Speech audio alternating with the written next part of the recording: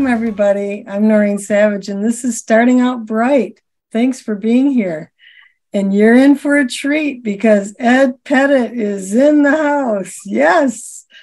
So, in case we haven't met, you and I, um, as I said, I'm Noreen Savage, and I am, first of all, nobody official with Brightline Eating, but the program has done a lot for me. And I got acquainted through a random tech, a random post on Facebook. My friend Lori had said she lost 57 pounds with a program called Brightline Eating. Anybody interested could just send her a message. So that's what I did.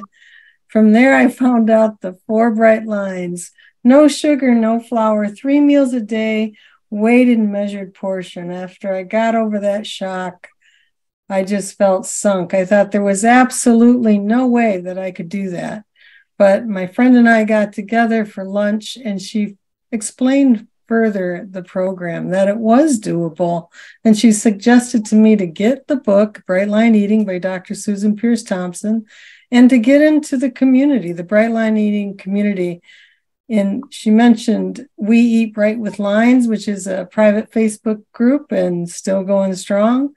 We have Starting Out Bright connected with these Zoom chats and other private group, but there are recipe groups and many other groups where thousands of people every day are getting together to do this thing with no sugar, no flour. So I got in the group, I got the book, and I just sat and I watched people in the group transform their lives. They were losing weight, like a lot of weight 50, 100, 150 pounds. And that gave me so much hope because where was I? I was 270 pounds, five foot two. I had been dieting literally for decades. And when I saw all of this, I told myself if I got started and lasted one year, I would do what my friend Lori did. I would post in Facebook and help anybody I could, just as she did. Well, the year came up. I was sitting that chair right behind me and I thought, what am I going to post to inspire someone else? And I'm a Christian. I felt God say to me, Noreen, you can do more than that. You could help others by getting them together on Zoom and connecting them. That's what I did. And that's why we're here where we are. And I'm so anxious to get to Ed that I'm sure I'm forgetting some things. I just want to tell you where I was. 270 was not just a number. What it meant was swollen feet, extremely painful knee, sleep apnea, snoring, waking up my husband every night, all of the bad things you don't want. And now I am uh, about 95 pounds down. I'm not still at goal yet, but I am feeling really great and I'm so glad to be here. So, with that, I'm going to welcome you, Ed. Thanks for being here. I'll give you a chance to say hi and then I've got questions for you. All right. Well, thank you, Noreen. It's a pleasure to be here with you. I just so appreciate what you do, as we say, for fun and for free, and Deb Babcock as well. I, I just think it's awesome. Uh, open handed generosity, compassion, kindness in the direction of others who are suffering. And this is a disease that those of us who've been afflicted with uh, compulsive overeating, food addiction, morbid obesity, it is a painful journey. So yes. what you do for fun and for free, it's it's greatly appreciated. Thank you. Well, thanks, Ed. And I'm gonna I want to talk about what you do too. Um, first, though, I want to mention for those who have not met you that the first time that we got together was back in April of 2021. So it's been a couple years since then. But you haven't been a stranger. You've been in Starting Out Bright. You've been in other groups, just sharing wholeheartedly your your messages of hope. And I want to get into that. Um, going back to you know that first that first Zoom chat that we had, um, I remember you mentioning that you started in Brightline Eating January of 2020, and you quickly took the weight off. Uh, from my memory, it was within the year, and you can say how much that was, but it wasn't the first time that you got to your right size body, was it? It was not. And as I saw some of those pictures you had shared, it reminds me of the many varied sizes of uh, of Ed uh, through the years. And um, yeah, when I started Brightline Eating uh, mid January of 2020, I got to my right size body uh, probably by the summertime. And following the plan, and I had a Excel table and a graph that I was using to kind of monitor the, the weekly weigh in. But it took me several months, but uh, it was steady. It was steady progress toward that goal. So when you when you said before you had gotten to the to your right body. You had tried some pretty tough stuff. You have followed i think the physician's weight plan. Physician's weight loss center. This was back um, in uh, 1989 1990 and i was successful with it. I followed it um, for the prescription. I had to go in and meet with the people in the white lab coats to uh, uh, use one of those test strips to make strips to make sure I wasn't cheating. I was in ketosis, and I paid for their maintenance program. I did that for a full year. And I was sharing with you last night, Noreen, that I remember it was the October of uh, 1991, and my mom was in the process of dying. And after a year of being in my right size body, uh, I quote started eating again and I couldn't stop. I gained 140 pounds, and uh, it was 10 years later that I stepped into my first 12-step meeting for compulsive overeaters in 2001. So my my sobriety date is December 12th, 2020.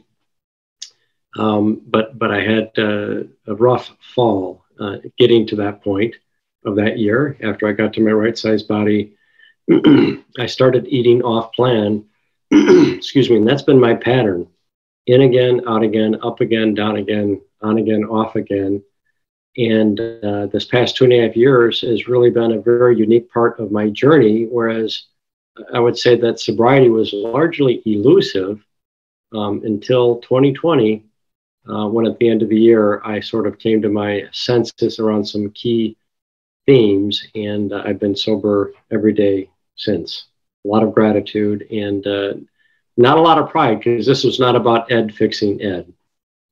But when you say you were you're bright from then, do you mean when you got back on track, or do you? Yeah, mean- that was when I I, I was having uh, my buddy called it recreational eating. You know, it's kind of crazy because I'm weighing my three meals a day, and then after dinner, I get out a bowl and put an extra something, something in there and thinking, I really thought I could handle it. And uh, interesting, I stopped weighing my body and I thought my clothes are still fitting. And it was three months before I stepped on the scale and saw that I gained 12 pounds. And um, I had made some reach out calls. I didn't want to do what I was doing, but I, I couldn't stop. And uh, I remember some of the things that were triggering me and that was a big choice for me to say these trigger foods, even though they're quote compliant, uh, they're not my food. And I had to come to terms with that. Um, so that was uh, yeah, mid December of 2020 after my three month final, last and final research project is what I like to call that. I don't need to do any more research. Well, and one thing you mentioned on that first call that we had, you got serious about um, with a, a check in with your buddy, correct? Are you yes. still doing that? Still because doing. I, I thought that was pretty unique. Talk about that. Yeah, and this was part of my um, kind of awakening process. Uh, I, I, love this three letter acronym. I think Noreen might have had it at the start NLA, no longer alone. And I've been learning to, I, I call it sometimes one anothering, to be uh, connected to other men in a way that really makes a difference for me. And um, this comes from a guy that was pretty emotionally shut down, and it might have appeared to have a lot of relational activity, but I was hiding. I was hiding in my disease. I was pretending. Um, I was suffering in silence and putting on sort of the happy face, and people didn't know.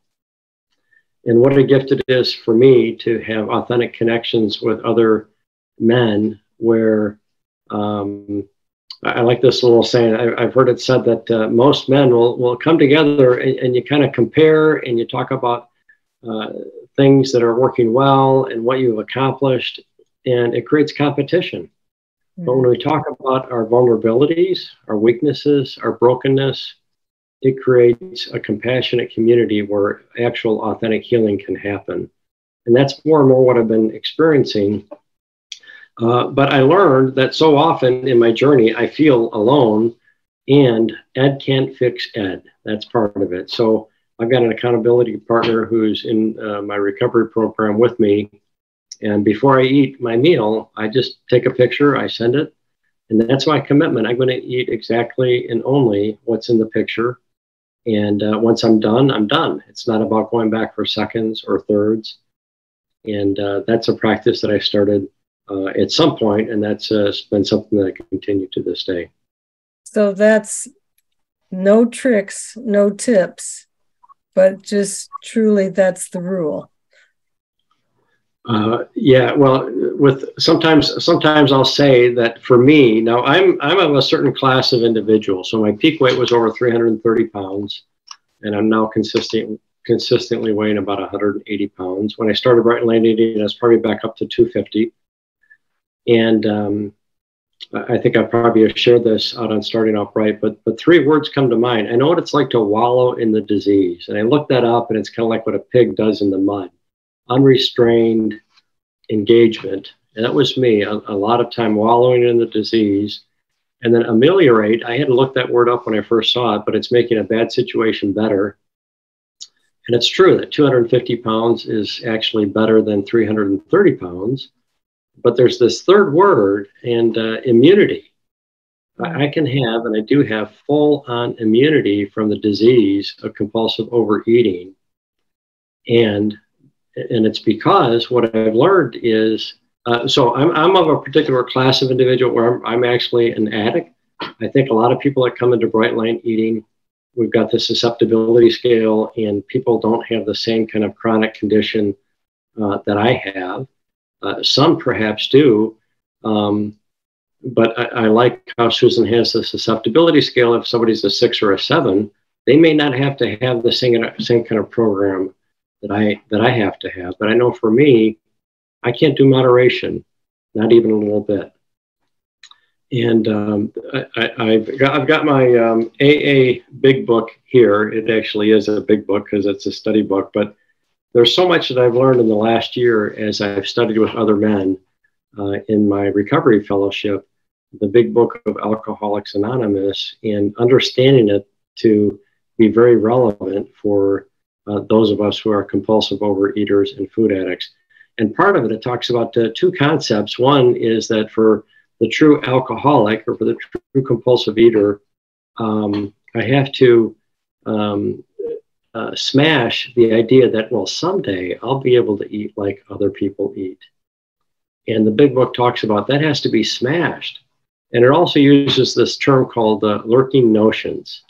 no lurking notions that someday I'll be able to handle a little something extra. And um, the third thing I mentioned in, in, the at the front of the big book is a, a section called the doctor's opinion. And the doctor's opinion is essentially saying, uh, for those of us that are of this class that are confirmed addicts, um, there, there's two elements to it. There's a physical craving of the body, and there are certain trigger foods that will uh, spur that on. And once that starts, it's it's hard to stop. And then the other thing is called a, an obsession of mind, um, in that the true addict has lost the power of control and has lost the power of choice. So I resonate with this, and it's been helpful for me to connect with other men in recovery for food addiction and study the big book of AA to recognize when, when I say the struggle is real, I get it. I've suffered long term, uh, not only as an adult, but uh, as a kid as well. I was the heaviest kid in my eighth grade class, weighing more then than I do today. And I was not as tall as I am. And uh, and the comment here is uh, something I think you've posted before, and and from that doctor's opinion, allergy allergy of the let me see of the body. I'm allergic to sugar and flour. Deb says that, yes, and I, I believe that was in the doctor's opinion too about being allergic. It's about alcohol, but but yeah, an alcoholic has a, a, a phenomenon where they're actually allergic to the alcohol and they crave more. And uh, not everybody has that reaction. Um, you know, the big book talks about uh, hard drinkers, uh, moderate drinkers, and it says there's a certain class of people that are alcoholics. And I think it's true for food addicts as well. There are certain people that are hard eaters. Um, you know, people who are obese or even morbidly obese may not have a condition of compulsive overeating or food addiction, and for some people, this is kind of the tips and tricks. A good food plan, like Bright Line Eating, and some support may be plenty enough to help people get into a recovered physical, right sized body. But for a guy like me, that's where I say tips and tricks don't work.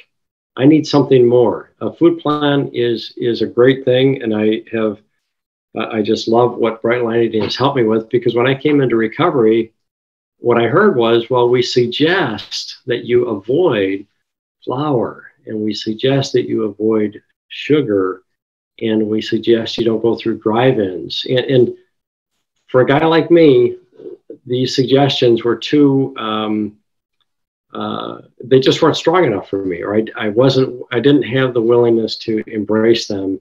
And, uh, you know, so, but there was something about the Bright Line Eating book with the science, and uh, I, I love the page where it has the four white substances. And when you take something and refine it into its essence and ingest it, it changes the substance and it changes how I process that. So that, that really resonated with me. There was a quick little question. How tall are you, Ed? You said that over six foot even. Six foot even. Six foot. Okay. So I want to I want to go back to that word you said immunity. Do you feel like I, I mean immunity to me would be like, you know, I will not get the disease again. But so what do you do? I mean, it's it's one thing to know what to do, but what do you do when you have these or or don't you really feel the craving anymore? Yeah, so l- let me let me speak to that a little bit. And my intent in being here tonight, when Noreen invited me to come back and join her for a conversation, this is not about me having an ego and looking for kudos. It's not. I, when I say the struggle is real, I get it. I, I have compassion for those that are suffering because I've been a person who's suffered much. And the other part of it is freedom is possible. It really is. And that's my hope is to extend hope to others who may be suffering.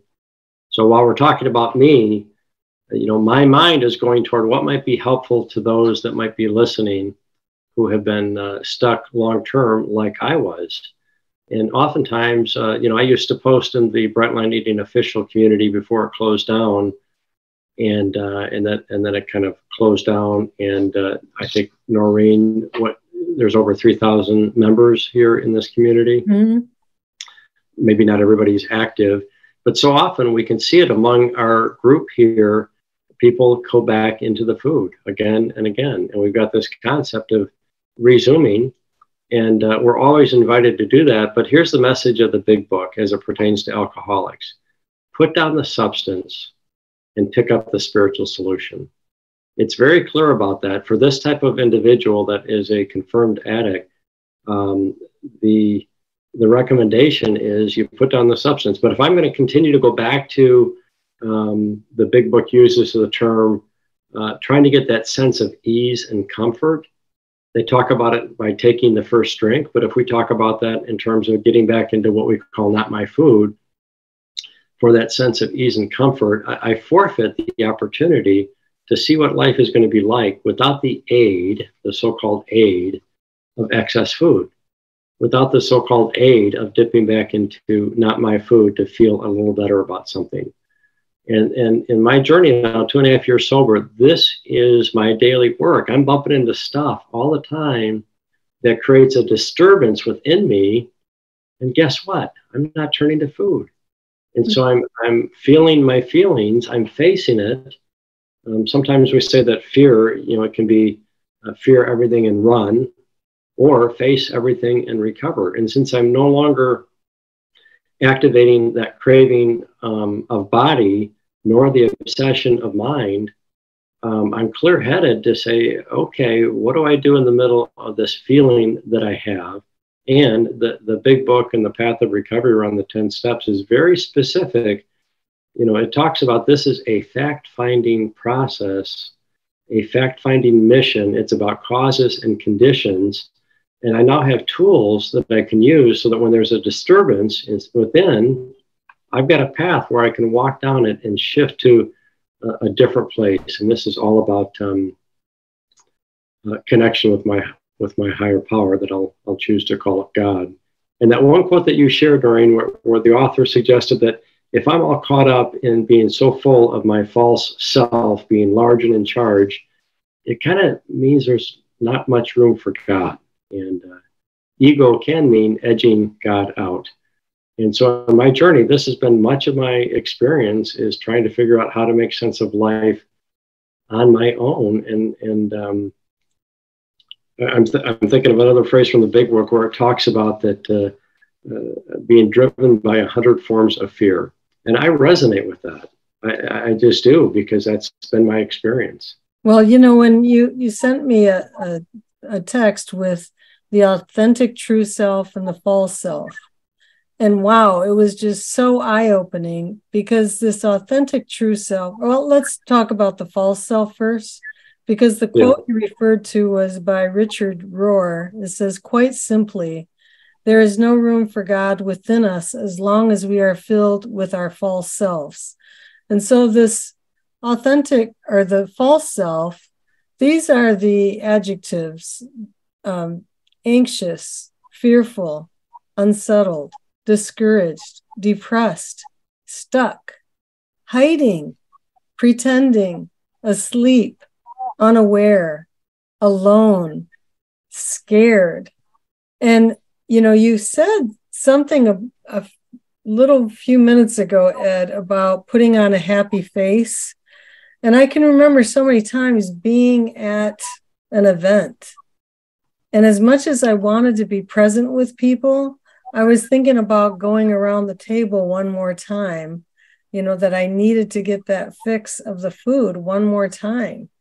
And it it now is very clear to me. It was you know i was stuck in the false self there um, pretending pretending to be with people when really that's you know i've i've got a different alternative motive here to be here and whether i like yes. it or not. And i remember the first wedding i went to after starting bright line eating it was in december of the year 2019. I got started in July.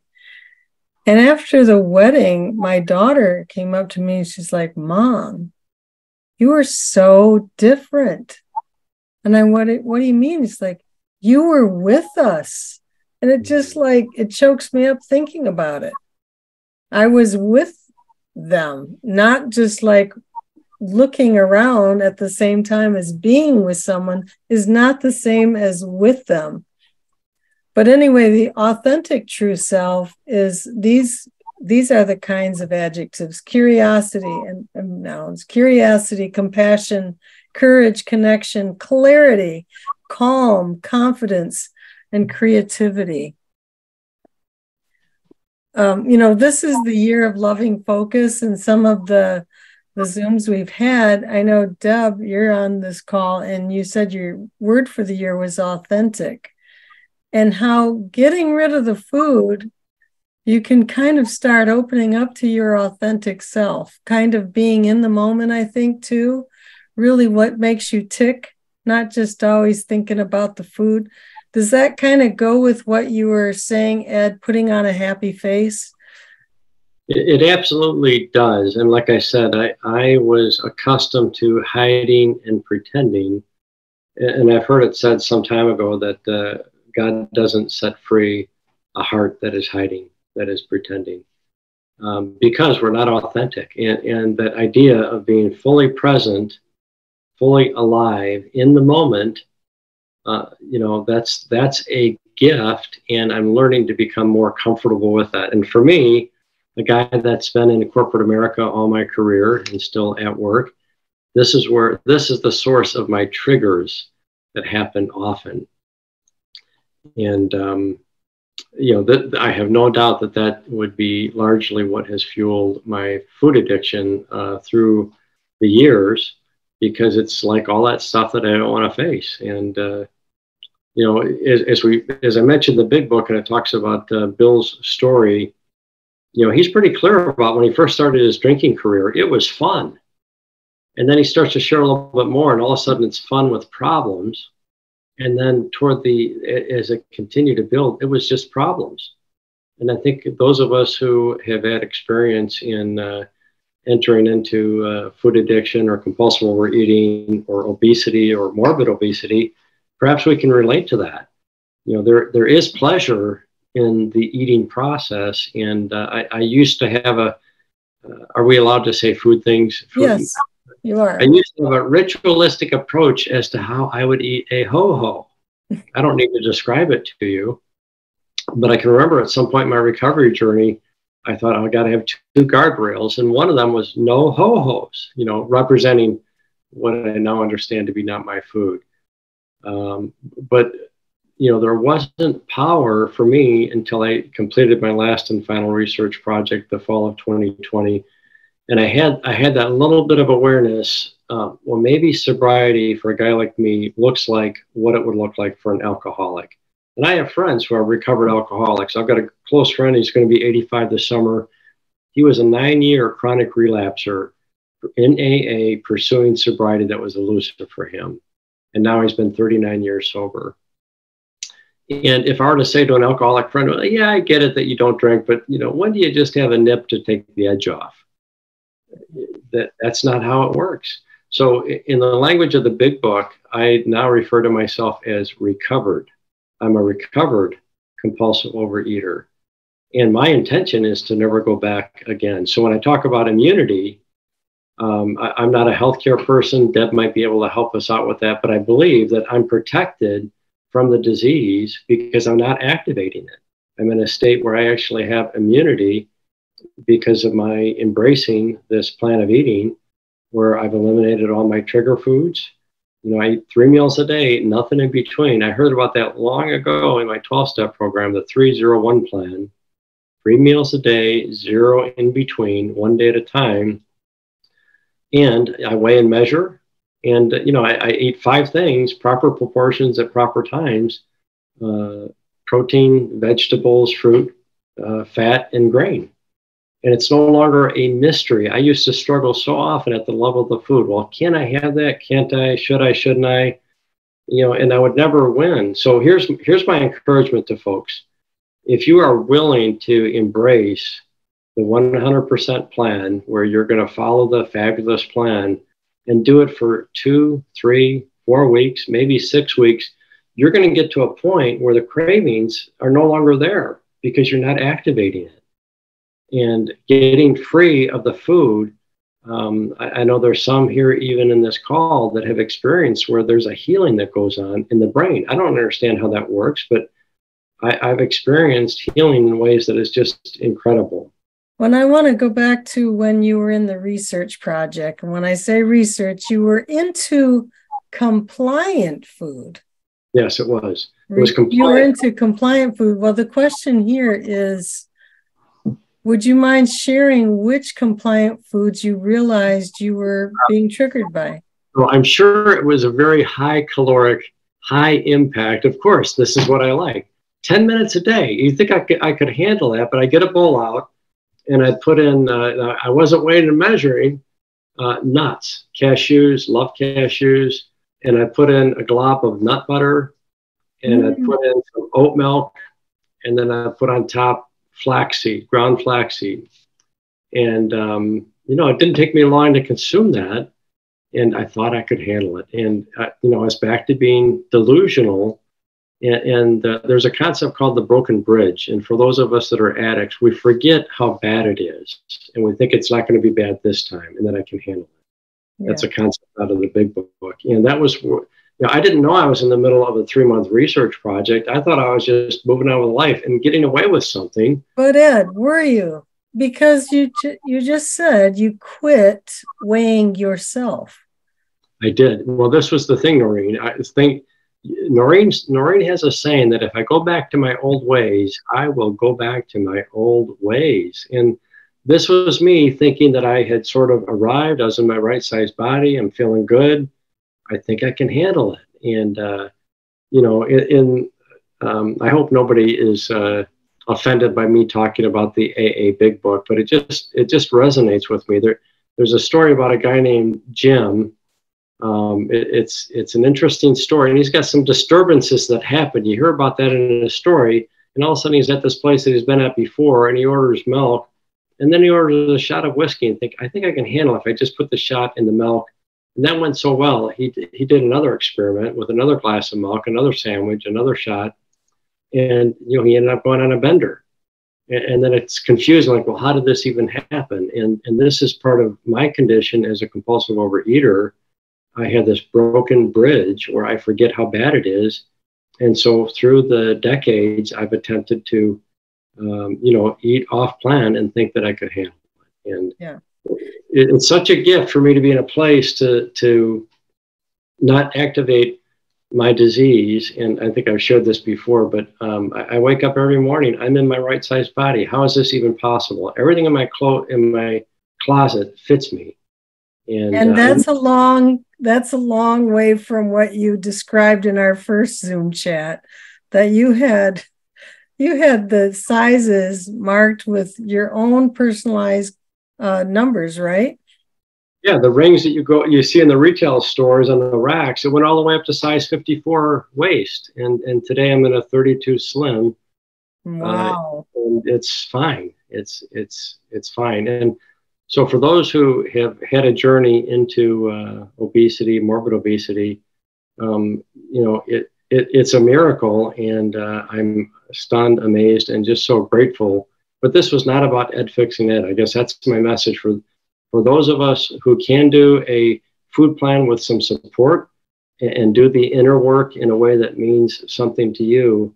Uh, that's awesome. I celebrate that. I'm, I'm, a part of this community, celebrating what people are accomplishing and getting set free. I, I remember one of the people that had a early interview. I just shared this with Noreen and um, when Deb talked about uh, being her authentic self, boy, I delight in that. And I can remember a vlog that Susan had where she talked about an hourglass. I don't know if anybody remembers that, yes. but where she said it might feel like it's restrictive at the start.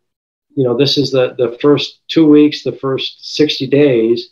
But then at some point, as you continue on the path, things start to open up and you're at the bottom of the, of the, of the hourglass and you're starting to experience life in ways that you've never experienced before.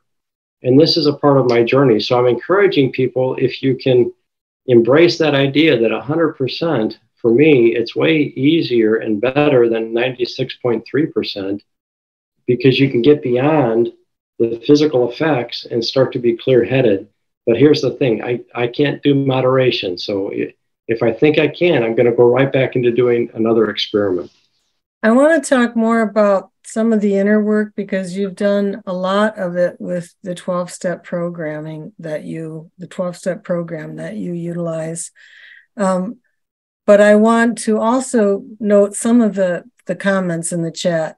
One says, I don't eat because of cravings. I can't figure out why I binge. And another says, many of us get tripped up with compliant foods. So that kind of goes back to what um, you you were talking about your own self with your your deluxe after dinner uh, compliant food to take the edge off, right? Um, mm-hmm. Another comment here: We will do anything to take the edge off. But how long did it take for the obsession to lift? Uh, it's an interesting question, and I didn't take notes on this part of my journey. But when I started Bright Line Eating, having this view of you know the weight loss plan and uh, um, and I was connected in a mastermind group, which sort of uh, was good for a time, and then it sort of faded away, and that was okay. It was for a season. Um, but uh, I'm thinking it was probably somewhere in the three to six week range for me, Noreen. Yeah. And uh, you know, I I do I eat three times a day, but I really don't have the cravings. I can tell when I'm coming up to mealtime and uh, I need fuel, and uh, that's okay, and it's properly proportioned. But it takes the guesswork out because I'm I'm no longer doing that. Can I? Can't I? Should I? Shouldn't I? Game. Um, a couple more comments. Uh, Dub here says ego, ego, ego, edging God out, authentic self, and this was in the slideshow too. For those who can't see it with the uh, podcast, the authentic self, compassion, curiosity, calm, clarity, creativity, courage, and connectiveness. So, those are some of the comments too. And immunity gives you protection. The habits and sticking to the food plan immunizes you or protects you, but you are not immune to the ditch. It can still call us.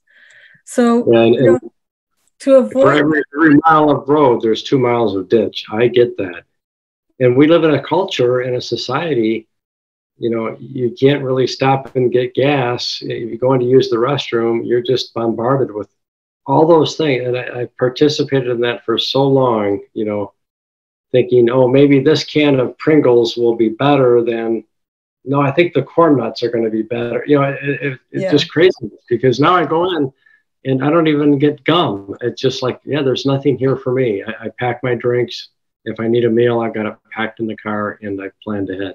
Well, I know like Lori here is a, a, a great uh, superstar in the community with her cooking and her Tasty Freedom book, but she also is on the road a lot and says that the the gas stations can be your friend because they have microwaves, and if you are traveling, this is somewhere that you can stop if you pre-pack. So if you just think ahead, I, I find that I just travel with food all the time now. I don't leave it to chance that I can find something anymore. And it works out great for me.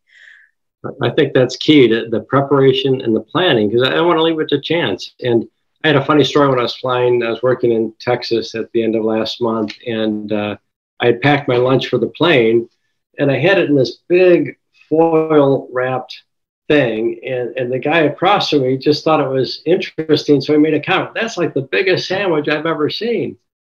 You know, so I unwrap it and it's it's a bag, a 10 ounce bag of snap peas or snow peas.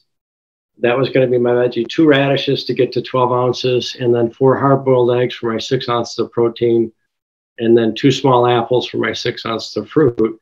That was my lunch. I showed him, I said, no sandwich. This is all uh, you know, this is how I eat now. But um, wow, it was just kind of a fun, fun little story that uh, he assumed it was a, a big sandwich and it was my compliant meal that I thoroughly enjoyed. Well, I know that when we were heading off to football games this past fall, I packed what I call my picnic in the park lunch, which is, you know, fruit, all raw veggies, two ounces of hummus for the fat, and either two ounces of nuts or I split it half with cheese and half with nuts. So everything is just, you know, grab and eat.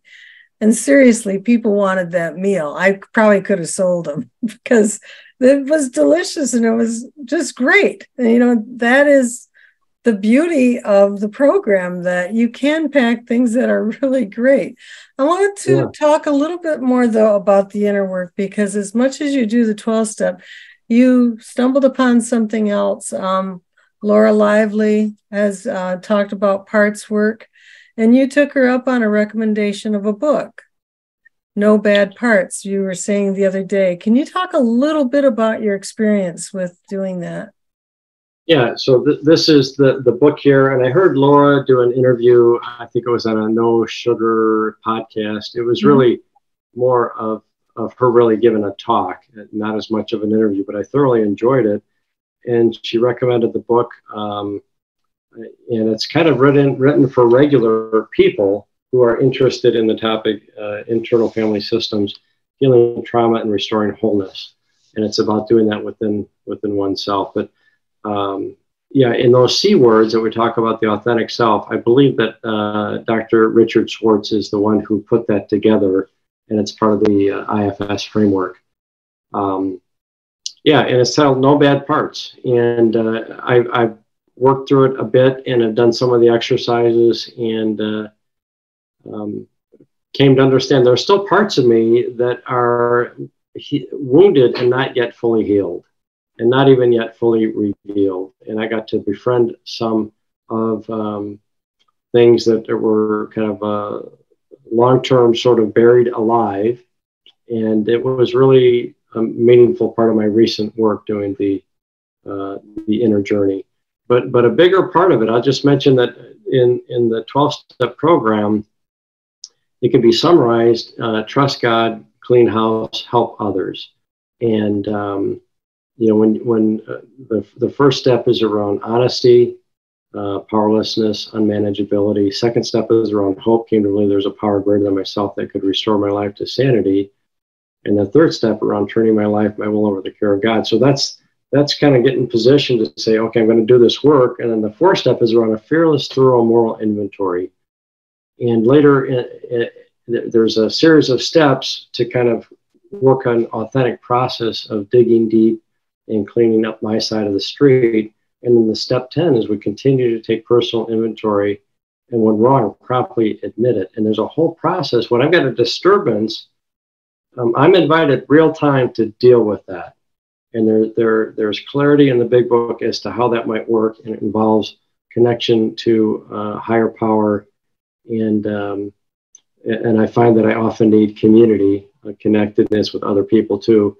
But am I willing to be honest and vulnerable instead of hiding and pretending about what's real? And I love it. I've got men that I'm very authentic with and, and who are very authentic with me. And it invites me to continue on this deeper journey so that I can be continue to live life in freedom.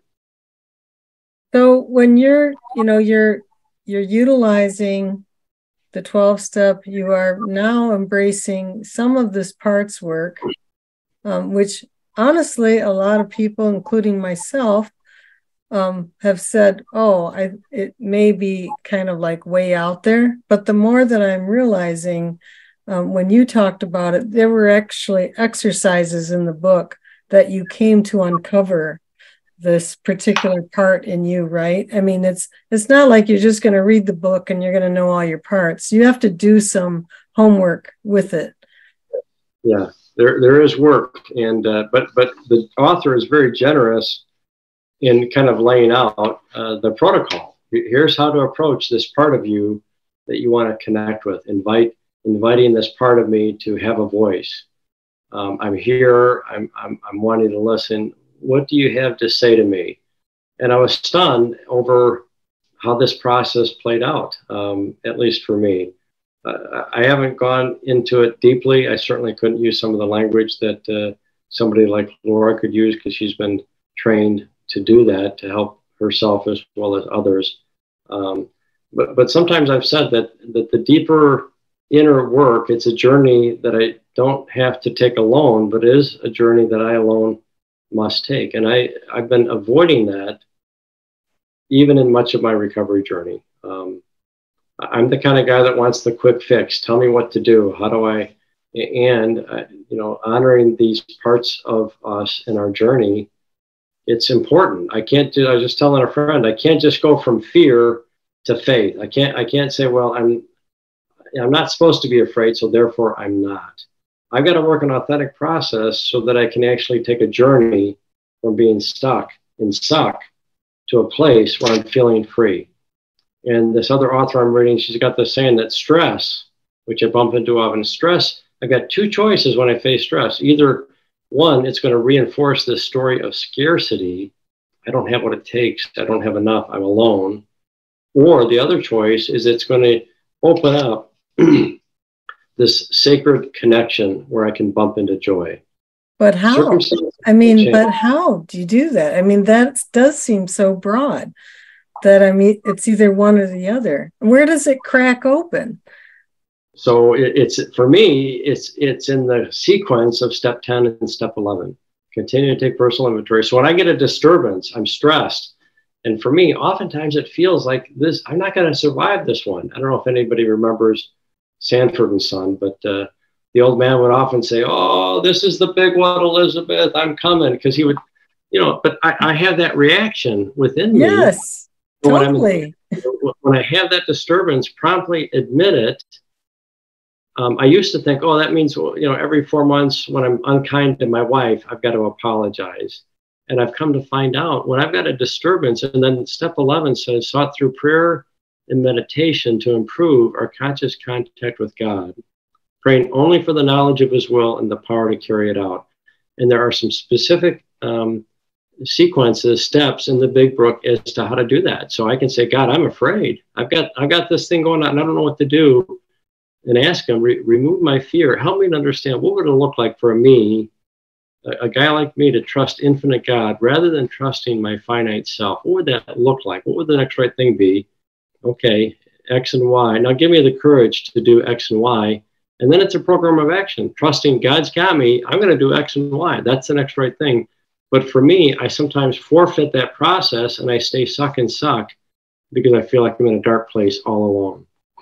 Right. I mean, and, and even trying to create the path for someone else in your head, like as if you can control what they should do. I mean, it's that's that's part of my journey is like I need to let go and you know, it's not even my journey to take. So there's section in the big book where it talks about that we like to think that we're the director of the show and we tell how the lights are supposed to go and how the stage is supposed to look. And if people would only follow my script and you know in in recovery we're taught that oh you know there is a god and the good news is i'm not god i got to quit playing god and recognize that i've got a part to play and I get to do that to the best of my ability. Uh, what's then it becomes what's my assignment? What's my part in this versus I'm responsible to get people to follow my script.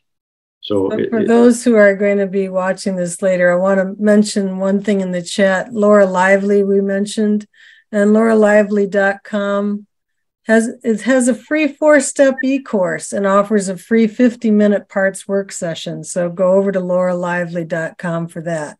I wanted to mention that.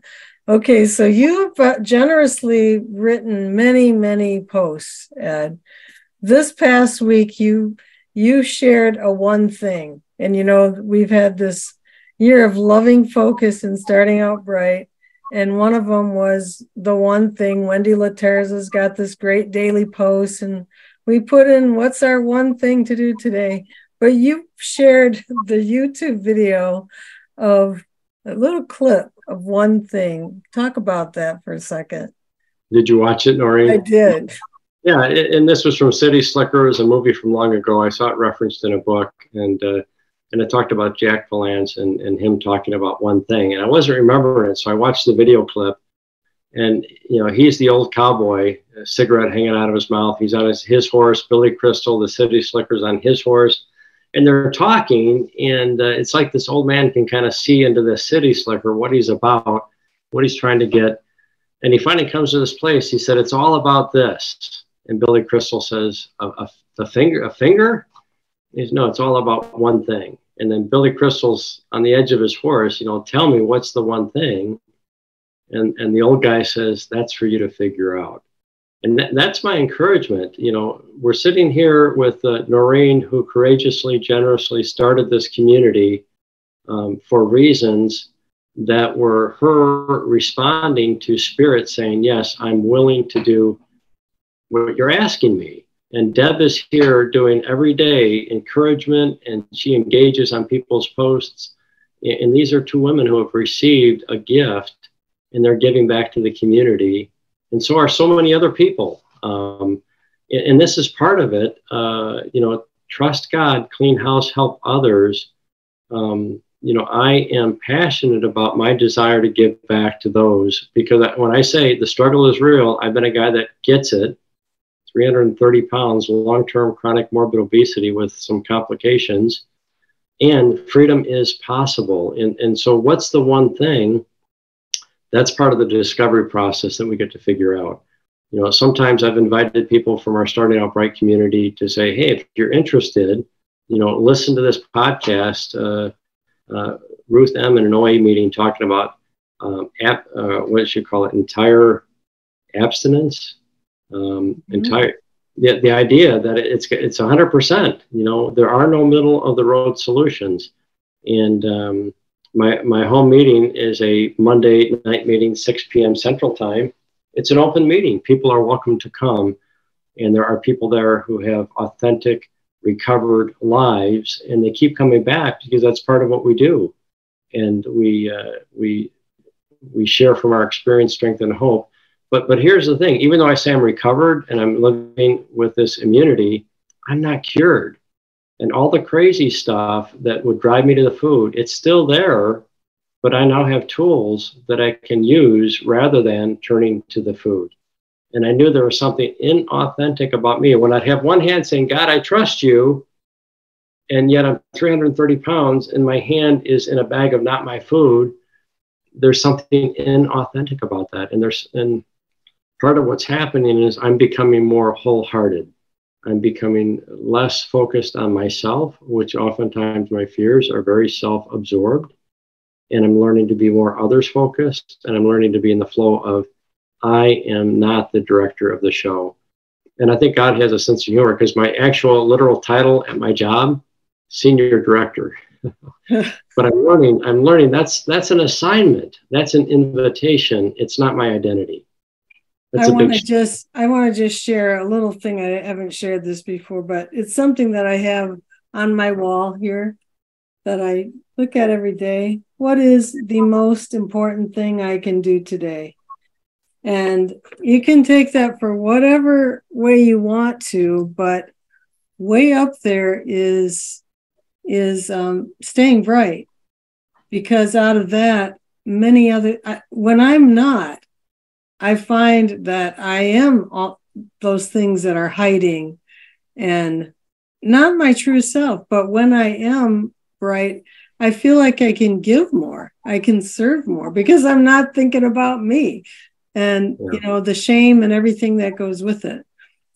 We're running out of time here, Ed, and I do want to ask one question. What in the world has changed in your life so so much more than just the weight that you know that is the non-scale victory in your life.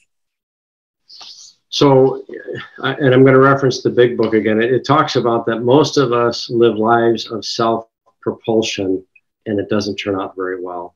Um, i did a talk for a 12-step uh, compulsive overeating recovery group back in february and, and, there's a phrase out of the big book where it says most alcoholics have to be pretty badly mangled before they commence to solve their problems. My life has been one that has been pretty badly mangled. And part of what I'm finding to be very interesting is, uh, you know, I'm 61 years old. I, am still working. Uh, the retirement line doesn't appear to be anytime near term.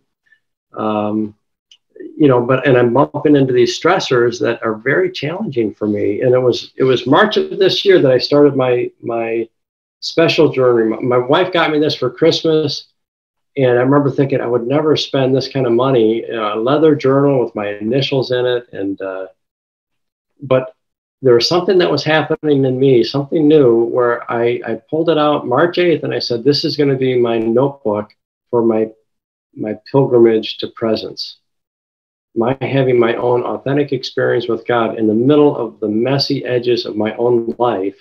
And that's been the, something new for me, Noreen. I've got my everyday journal, which is just brown paper. But this is where I'm, I'm writing down, oh, here's evidence where I saw something of God's hand in the middle of my struggle. That's wonderful. And, uh, and here's the thing we're all invited. We are all invited. I, I love the saying, thinking about a, a recovery room come all the way in, sit all the way down, say your name out loud, and join us. Um, this is a we program, it, it's not a me program. That's so fantastic, Ed. So here we are. The last question. But before I get to that, let me just double check here. Um, maybe this is the question. What can you tell someone who is off again, on again, can't string more than a few bright days together? What would you say to them? So I actually have those conversations with with real people from time to time, um, and my heart goes out to them. And, and uh, you know, one of the slogans uh, from recovery that I always loved was "Keep coming back until the miracle happens to you." And I've been a guy that's been willing to keep coming back, even though I drop out. My most recent time of coming back was uh, November of 2019, a few months before I discovered the Bright Line Eating book. And uh, ahead of Bright Line, I was not absent for those three months. I could not, as a friend of mine says, catch a gear and uh, string together even a day of abstinence. Um, so somehow, um, you know, I, I like to say that what we're talking about here now is it's at a six-way intersection of miracle, mystery, grace, surrender, acceptance, willingness. When you struggle at the level of the food, it is perplexing. You know, the big book says that addiction is cunning, baffling, and powerful. For those of us that know something about food addiction, it's also persistent, it's persuasive, it's pervasive, it's all consuming. It's a horrible taskmaster. 330 pounds. I'd have to measure my steps, thinking, how far away from the door am I going to park? And are there stairs? Um, you know, knowing what it's like to work up a sweat when I'm just walking to get from one place to the other, and then having to figure out what am I going to do with this sweaty body. And there's so many other things that I could share. Uh, but but that's my encouragement. Keep coming back. And with respect to that that cowboy saying, yeah, one thing, that's what you got to figure out. That's the invitation. When I say we're all invited, um, I, have got a special painting in my office here at home that I purchased from an artist that I know. And um, she described it as uh, about the prodigal son. And it's a beautiful picture where, the, and her caption is, The gate is always open. And um, I like to title it, uh, the bright path, we're all invited because it looks like there's sunshine coming through this field and the gate is open, but the gate is always open. And this is the invitation from the God of the universe to say, you know, let's give it a try. Come. Ed, you're just amazing. And your humility shines through what you've shared tonight.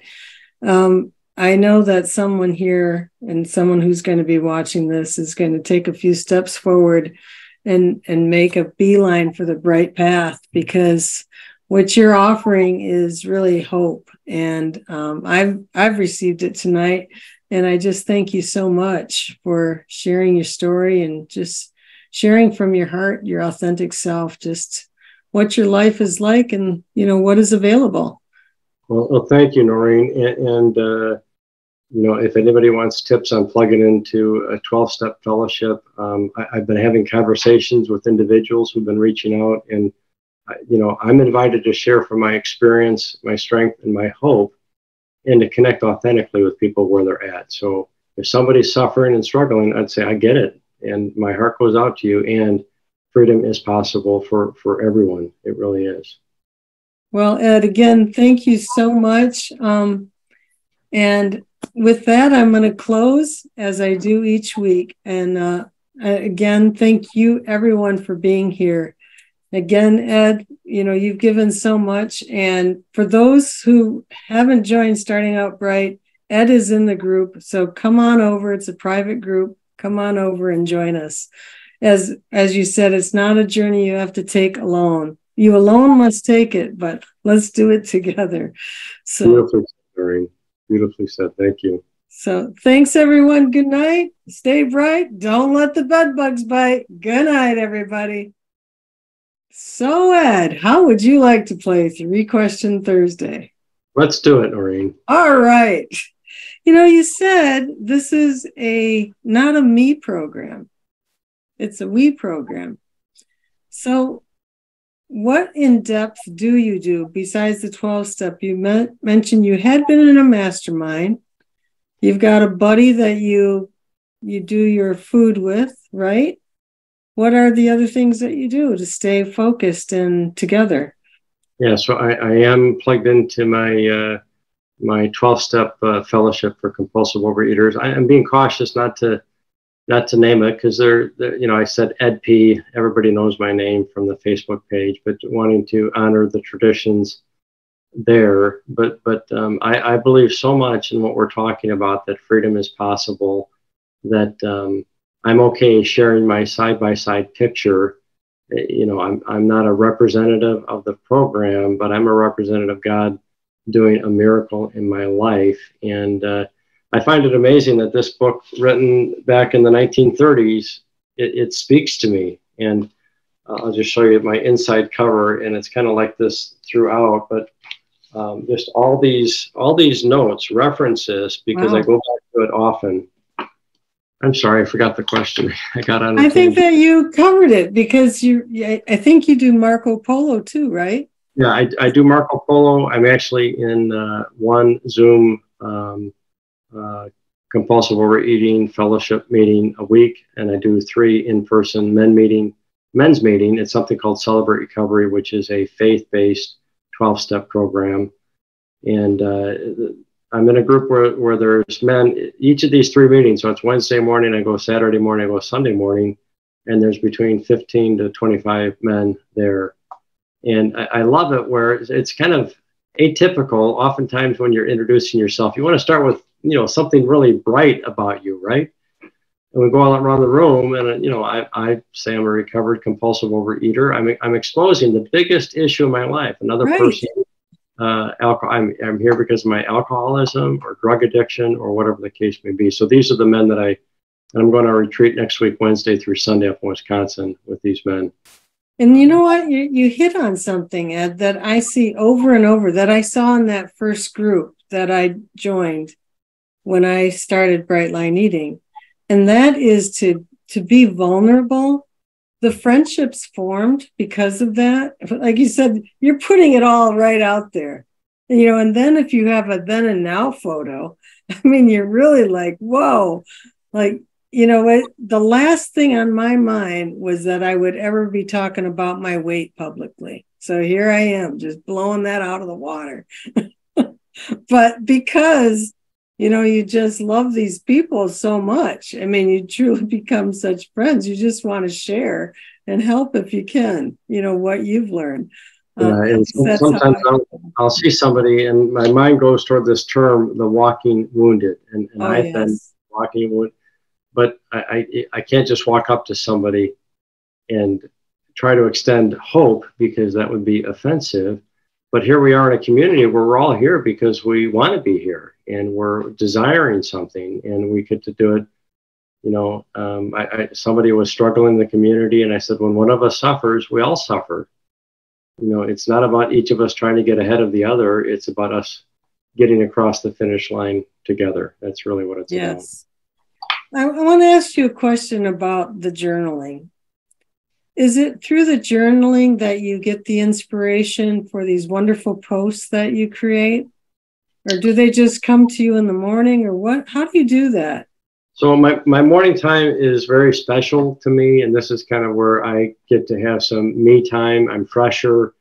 I've got my cup of coffee, and uh, I do have several books that I like to use to kind of get some ideas flowing. But but part of it is, is me wanting to have this authentic connection uh, with God and remembering that I'm not alone, and that's really a big part of it. And um, but my journaling, it's about some of what's going on in, in, me in my life, what I'm learning from something that I'm reading, uh, how it ties together. Uh, I'm not much of an artist, but I might draw little uh, things in there that are helpful to me. But it's kind of me just having um, time to get focused and centered. I hear so much gratitude from you in every single post, you know, when you describe the miracle. I just want to end, end with this last question because it was powerful to me when you talked about it the other day. And, and you said there was a, a quote by Mark Houston that. Yeah. So Mark Houston is, uh, he's a talker in the AA circuit. Um, I've heard his story. He's passed away now, I think probably in 2010. But a lot of these podcasts are available. And if you're interested, you can just say, you know, AA speaker Mark Houston, and you'll get a lot of options. But um, I remember this this one talk that he was giving. He said, um, "Stop wor- worshiping the fingers." And, and I could only it was just audio, but I could imagine a whole bunch. if you're if you think the magic's in the sponsor or the magic's in the book or the magic's in the medium, we can add if you think the magic's in the food plan, these are all pointers inviting you to have an authentic, transformative experience with the living God. Stop worshiping the fingers. And, and, another AA speaker said a similar thing that so many people want to memorize this and, and be studied up on that. And, and, and they want to eat the menu. The menu is a description to the feast that's available to us. And it's all about having this authentic connection with God. And I've been I've been a man uh, in a particular faith stream really all all my life. Um, but it's interesting, just like I described at 330 pounds, saying, God, I trust you, but my hands in a bag. You know, I'm kind of a practi- practicing agnostic. I can say with my mouth, I trust you, but in my heart, I'm putting my trust in whatever this food is going to do for me in the moment. And I, I know very little of trusting God authentically. And this is part of what I'm bumping into here at 61 years of age is an invitation for me to have my own authentic experience with God in a way that changes me. That's what I'm that's what I'm engaged in. That's so great. Um, everything that you said, I mean, there's just going to be so much that I have to go back and listen to this video when it's out there on YouTube. I, I just want to give one affirmation. Our community is awesome. I, am buying a custom made mug from a friend that I'd never met that's a part of this community. I saw her post on it and she was gracious enough to let me sign up to get a cat mug for my daughter. And, um, you know, I had a situation where I needed a friend in a particular way, and, and Deb Babcock dropped everything and became that friend for a family member in need.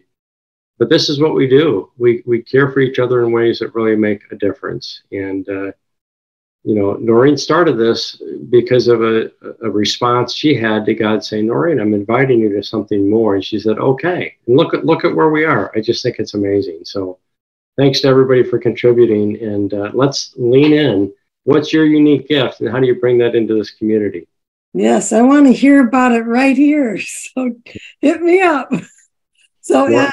again, thank you so much for being here. Thank you for sharing your story. And thank you for playing Three Question Thursday. It's Thank you. Thanks, everybody. Night, my friend. Good night, everybody. Stay bright. Have a good night. Good night.